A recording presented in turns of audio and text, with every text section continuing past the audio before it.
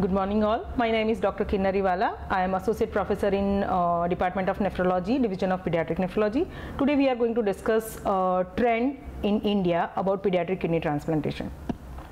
So we will start with a case, a simple case. So there was a four-year-old child who was diagnosed as posterior urethral valve and uh, as per the guideline he underwent a valve fulguration at one and a half year of age followed by revision cystoscopy at one and a half year of age. In past, child had multiple episodes of recurrent urinary tract infection which led him to uh, end stage kidney disease at a very young age that was only at 4 years of age. So child admitted to our hospital uh, uh, with urosepsis in September 2017 that time child had severe stunting severe wasting.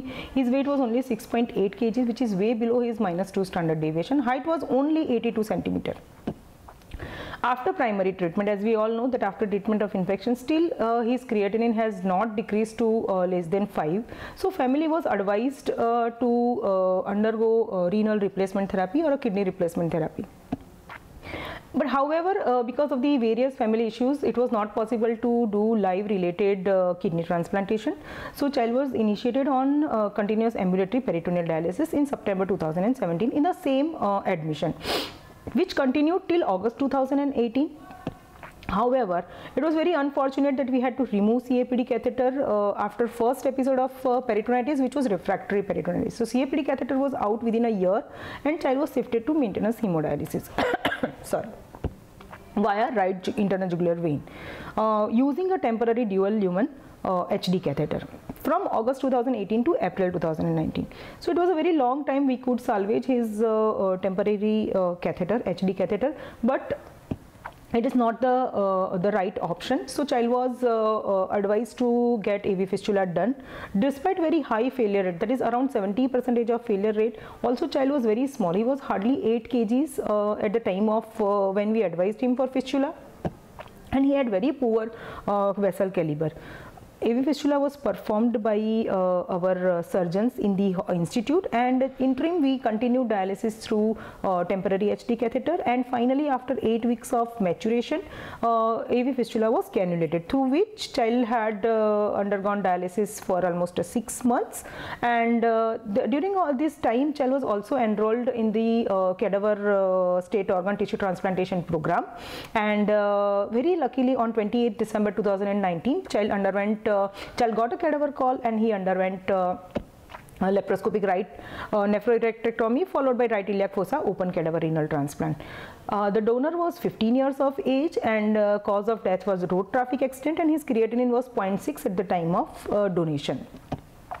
So we look at the last follow-up that was uh, when child had one year, three month post transplant. He has gained weight that is now 20 kg which is 13 kg gain from the uh, presentation. Height is 109 centimeter which is almost 20 centimeter gain from the presentation and his creatinine is 0.39.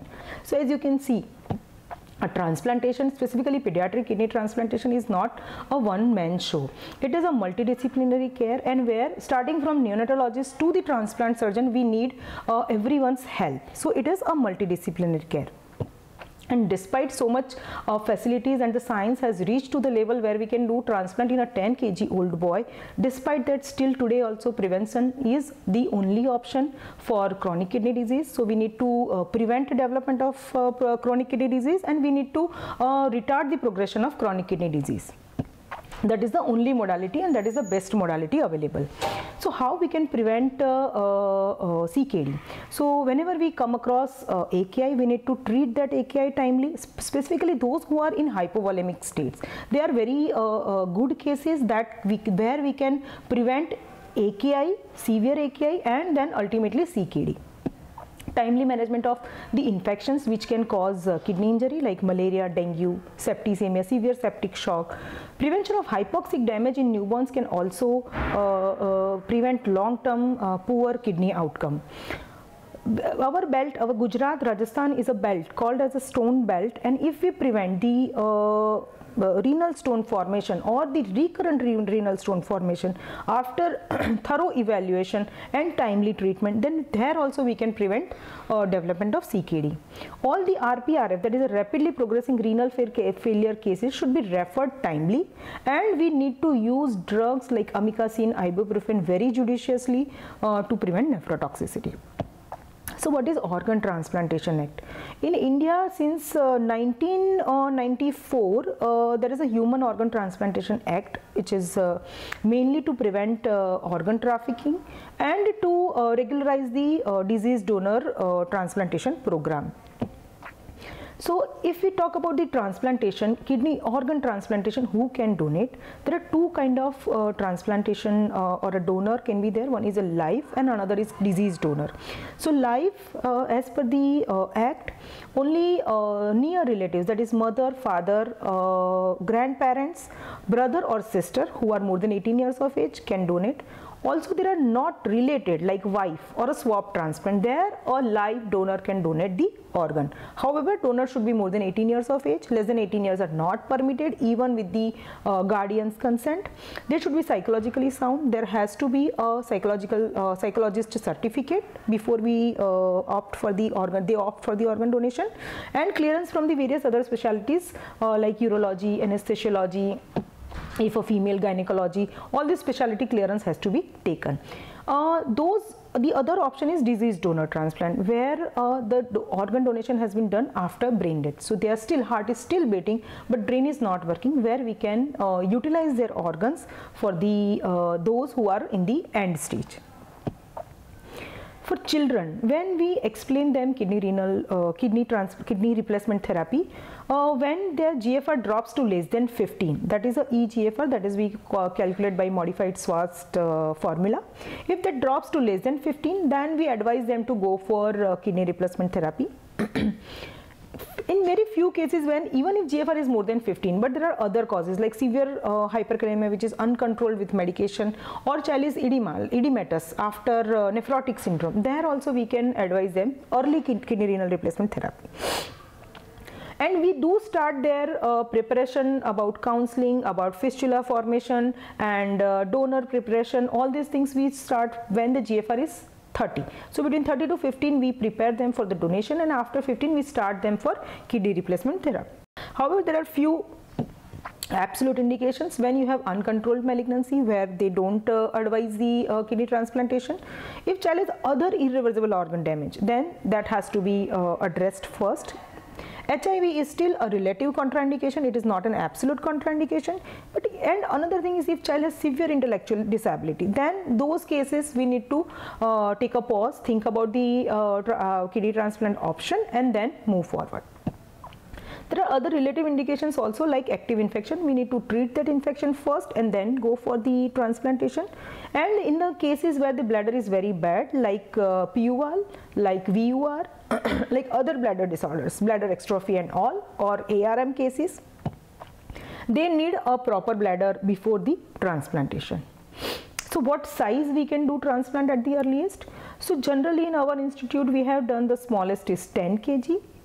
Yes, in the western world they have done even smaller kids 6 months of age kid also they have done transplant still in india people are more comfortable if the uh, um, weight of the child is more than 12 or 13 kg and it is very important to understand that the best outcome of kidney transplantation throughout the years the best outcome is seen is 2 to 10 years of age. So whatever dilemma initially they had that why a pediatric patient should get transplantation what will be the outcome? They will have poor outcome. What kind of life they will have?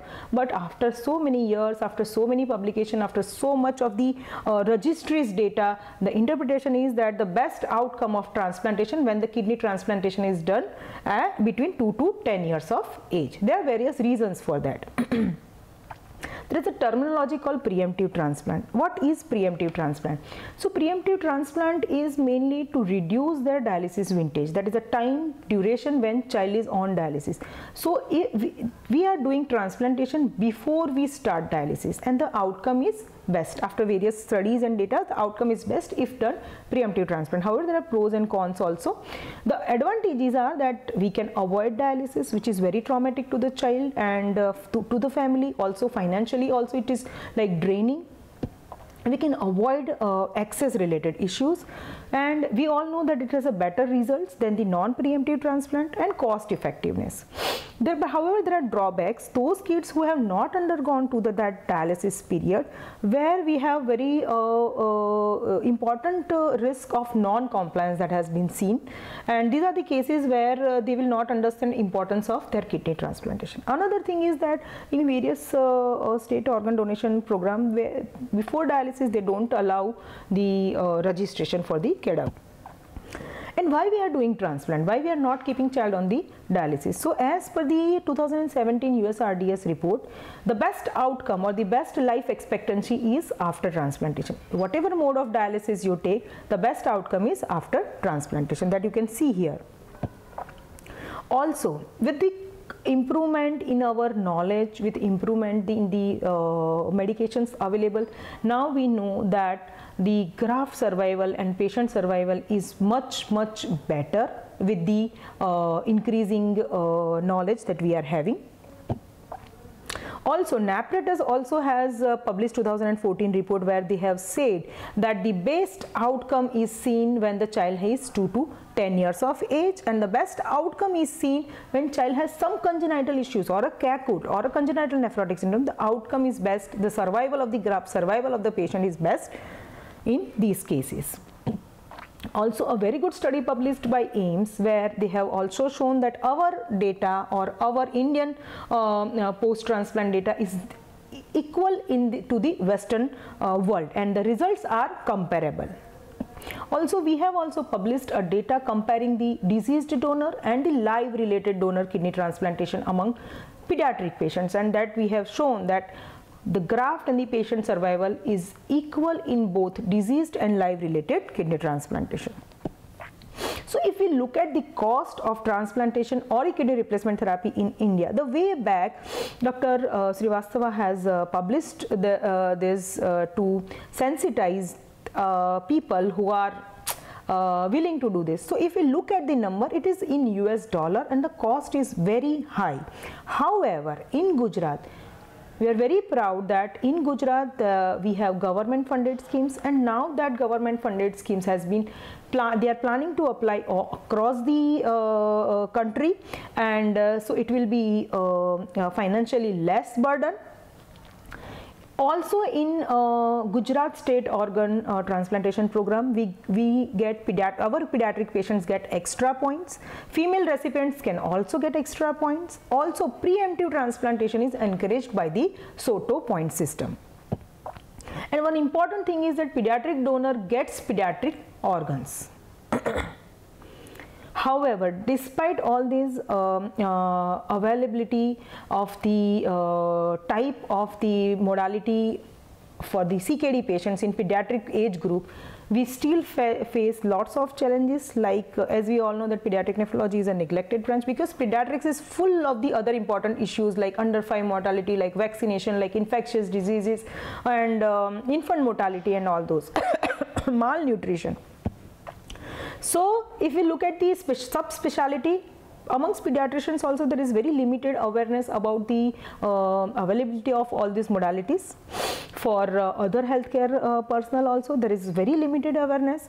Also in other uh, states there is very poor uh, sources of dialysis facility for pediatric patients nursing staff uh, who can understand dialysis in pediatric patients. So trained nurses trained technicians trained doctors are not available specifically in remote areas so if we look at the our Indian uh, published data, we are hardly having 100 to 150 pediatric nephrologists in number. Out of these, not more than 50% are doing pediatric nephrology. They are doing general pediatrics and pediatric nephrology. So if we look at this data that is published by Dr. Rajiv Sinha and Sidharth Kumar Sethi, they did a survey uh, about pediatric kidney transplant trend in India. So if we look at this, there are only 10 pediatric nephrologists and 15 adult nephrologists who are doing pediatric kidney transplant. And out of all these 25 doctors only three institutes are there where the government funded uh, pediatric kidney transplants are done. So it is very poor for the country like us. So my take home message will be prevention is always better than care cure and timely intervention is most important.